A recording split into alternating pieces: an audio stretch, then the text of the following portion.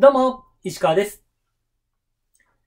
はい、これより、登録販売者過去問解説講座を始めていきたいと思います。こちらの講座では、九州沖縄ブロック2020年度の問い11から問い20までの過去問について解説していきます。過去問については、下の概要欄からダウンロードできるようにしておりますので、ぜひぜひご利用いただきたいと思います。それでは、早速始めていきましょう。ということで、問い11番です。引き続きこちらはですね、第1章の内容をやっていきたいと思いますので、頑張っていきましょう。ということで、えー、まずは文章を読んでいきましょう。医薬品の適正使用に関して、以下のような購入者に対する対応として、最も適切なものを下から一つ選びなさいということで、答えはこちら4番が正解となります。では、どうでしょうか？まあ、ちょっと文章を読んでいきますと、成人の男性がドラッグストアに来店してきたと。そして、風邪用症状とアレルギー性鼻炎の症状のため、一般用医薬品を購入しようとしている。一般的な総合漢方薬とアレルギー性鼻炎治療薬を両方手に持ち、相談カウンターにやってきたと。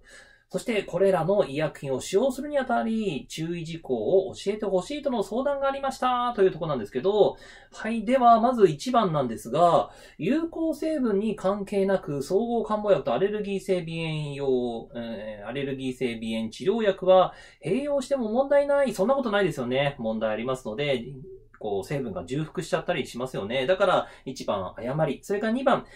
一般従事者が添付文章などの情報を参考に正しい情報を伝えるということで、一般従事者、これ要は登録販売者や薬剤師じゃなくて、えードラッグストアの通常のあの資格を持ってない従業員の人が、えーこう、情報をですね、伝えていく。これダメですよね。えー必ず薬剤師または登録販売者がそのお薬の情報を伝えなければなりませんので、2番、誤り。それから3番、医薬品を使用する前、または使用後に添付文章や製品表示を必ず読むように促す。うーん。これあれ、いや、いいんじゃないかなって思うんですけど、いや、違うんですよ、ちょっと。いや、確かにそうなんですけど、ただ、この文章だと、総合漢方薬と、それから、えっ、と、アレルギー性鼻炎治療薬ですね。それの両方を併用してしまうことにもなりかねないので、なので、えーこちらですね。まあ、確かに使用する前に読んでほしいんですけど、でも、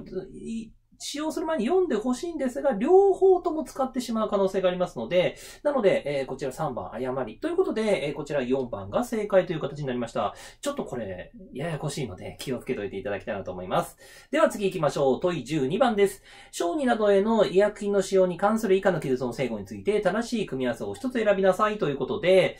こちら答えは5番が正解となります。では見ていきましょう。あなんですけど、一般用医薬品の使用上の注意において、乳児、幼児、小児という場合にはおおよその目安として、乳児は1歳未満、幼児は7歳未満、小児は13歳未満というところで違いますよね。そう、何が違うかというと、乳児は、まずは1歳未満、OK ですよね。それから、幼児は7歳未満、OK ですね。小児は15歳未満となっておりますので、なので、こちら見ていきますと、13歳未満違いますから、まず、えー小児はですね、このあたりは、やっぱ乳児乳児は、あの、お乳を飲んでる子供なんで大体1歳前後ぐらいですよね。そして、幼児は幼稚園に通ってるお子さんなので大体7歳未満ですよね。そして、15歳未満の小児に関しては、小児科用に、小児科に通える年齢としては大体中学生までですよね。高校生からは内科に行ってくださいって言われちゃいますから、なので、え中学生までということは15歳未満という形で覚えていただくといいのかなと思います。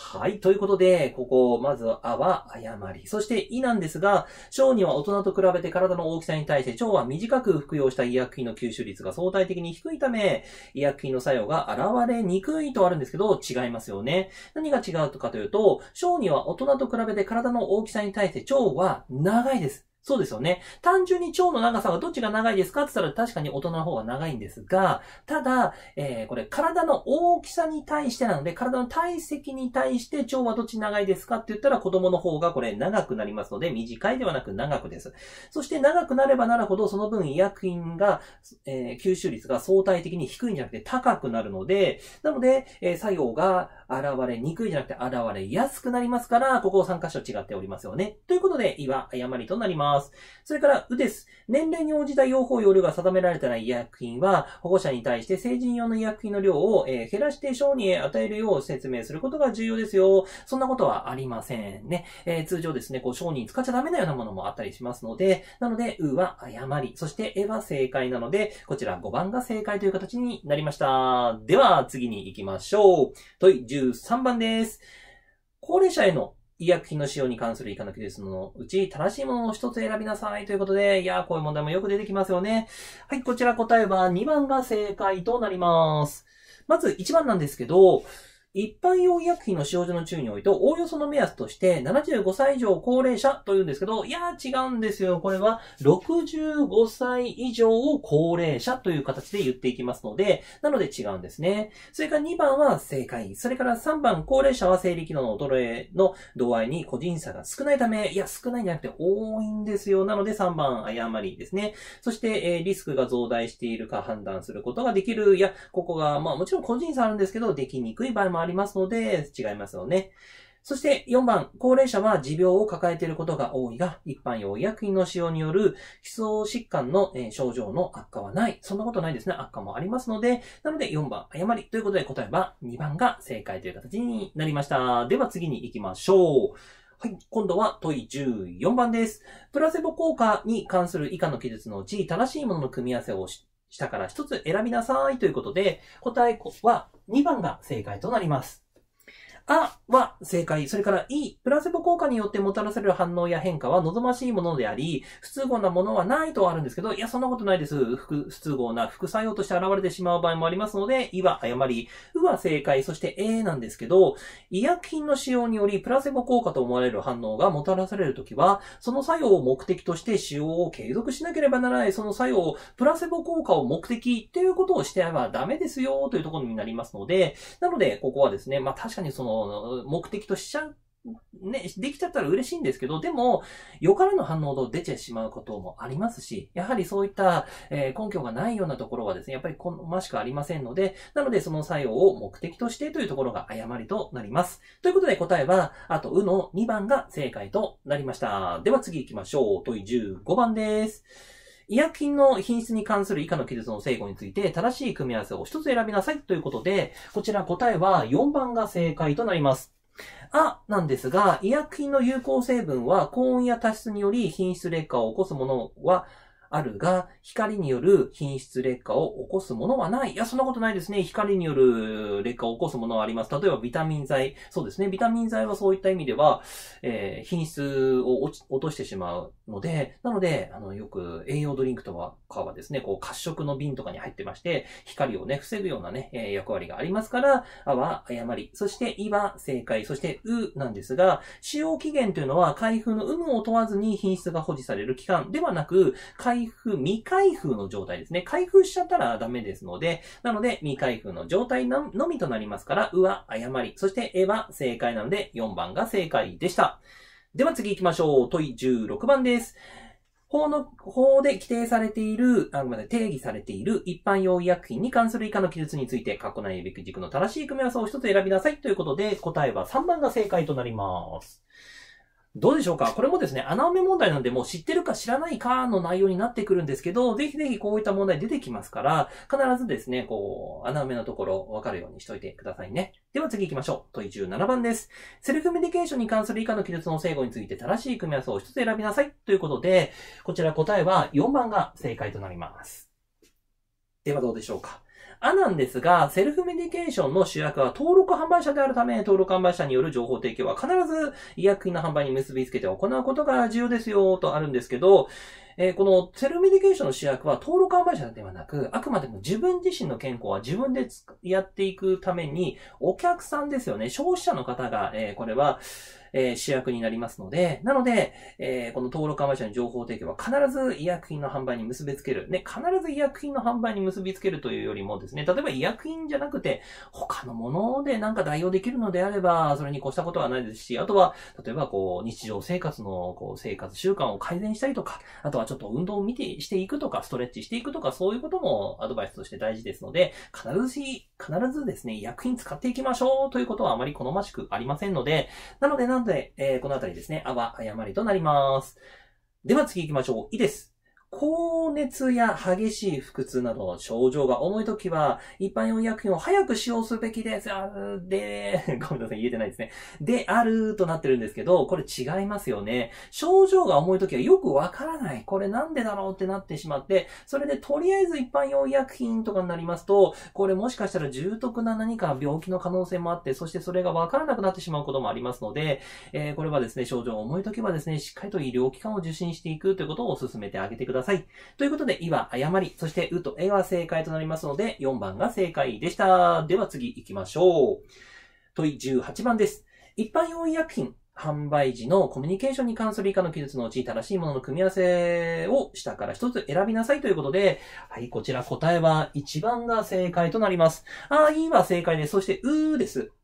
いや、これはですね、医薬品の適正な使用のため、必要な情報は基本的に添付文章や製品表示に記載されており、それらの記載は一般的、それから網羅的な内容となっているので、えー、ここの、え購入者や、え使用者ににとっての、とって、どの情報に特に類すべきなのかについて情報提供をしなくてもよい。長いんですけど、えー、長いんですけどね、こ後半の一番最後のところですね、情報提供をしなくてもよいじゃないですね、してあげてください。いよ。ね、確かにそうなんですよね。えー、でもね、何かこう困る、お困りのこともたくさんあると思いますし、ね、こう勘違いしてしまうこともあると思いますので、ぜひぜひいろいろ提供していただきたいなと思います。はい、ということで、うは誤り、そして絵なんですが、一般用医薬品の場合、情報提供を受けた当人のみが医薬品を使用することを踏まえ、いや、そんなことないですよね。他の人をね、家族が使ってしまうこともあるかもしれないじゃないですか。使使ってしまうことというか、そこが目的のこともあるじゃないですか。なので、絵は誤りということで、1番が正解となりました。では次行きましょう。問い19番です。一般用医薬品の役割に関する以下の記述のうち、誤ってるものはどれでしょうか？ということで、はい、こちら誤っているのは3番が誤っております。はい、こちら何が誤ってるのかというと、3番はですね、重篤な疾病に伴う症状の改善が一般用医薬品の役割ですよ。違いますよね。重篤のではなく、軽度なになります。軽度なですね。なので、軽い症状ですよ。重篤なね、口からバシャーバシャーって血、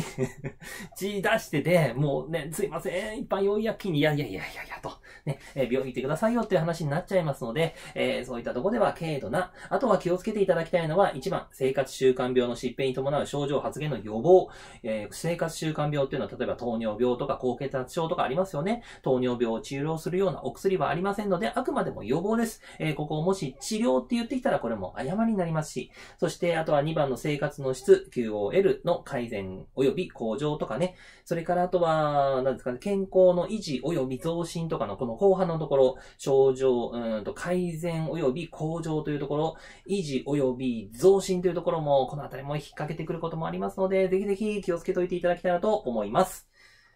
ということで、問い19は3番が正解となりました。よろしいでしょうか？次行きましょう。最後ですね。問い20番です。以下は医薬品による副作用に関する訴訟についての記述である。このうち訴訟の原因となった医薬品が一般用医薬品として販売されたものの組み合わせを下から一つ選びなさいということで、こちら答えは4番が正解となります。まず、ポイントとしては、一般用医薬品として販売されたものの組み合わせはどれかということなんですよ。そう。ということで、うとえのサリドマイド製剤、それからキルノ、キノホルム製剤、この二つがですね、一般用医薬品として販売していたことがあります。えー、なんでよくわかんないじゃんって思うんですけど、いや、よく考えてみてくださいよ。えー、まずは、HIV が混入した製剤ですね。えー、血液凝固因子製剤のことですよね。えー、このヒト免疫不全ウイルスが、え、混入した、えー、血液凝固因子製剤を使ったことによって、えー、HIV に感染してエイズになってしまったよというのがありますよね。ということで、こちら血液が由来となりますので、こちらは生物由来製品ですよね。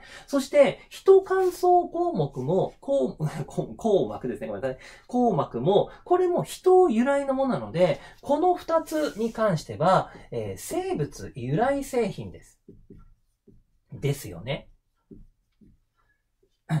なので、えーと、製品ですね、製品。なので、この二つに関しては、これは医療用のものと、えー、推測することができます。なぜかというと、えー、例えばですね、一般用医薬品だったりとか、えー、医薬部外品とか化粧品とかでですね、今のところ生物依頼に、製品になっているものはございません。えー、あくまでも生物依頼製品は今のところ医療用のものしか、えー、存在はしていないんですけど、ただ、カテゴリーは、えー、医薬部外品や化粧品とかも用意されておりますので、いつかなるかもしれないんですけど、今のところはないです。ということは、この2つは医療用で使ってたものだから、あ一般用医薬品として販売されたものではないなーって推測できると思いますので、そういったところでこれ、えー、答えを導き出していただきたいので、うとえが正解の4番が正解という形になりました。はい。ということで、いかがだったでしょうか？なかなか、ちょっとね、えー、頭を使うところもあったかなと思うんですけど、でも、えー、それでもですね、基本的に、えー、解けるような問題が多いです。なので、ぜひぜひ過去問を何度も繰り返して、えやっていただいて、この第一章、皆さん高得点取れるに頑張っていきましょうね。はい。ということで、えー、本日はこの辺りで動画を終わりたいと思うんですけど、ここまで動画いいなと思っていただいた方はですね、ぜひぜひ LINE などに登録していただきますと、質問などにも、えー、お答えしておりますので、ぜひご利用いただきたいなと思います。下の概要欄から、えー、見ることもできますので、お願いいたします。ということで、本日も動画を見ていただきまして、誠にありがとうございました。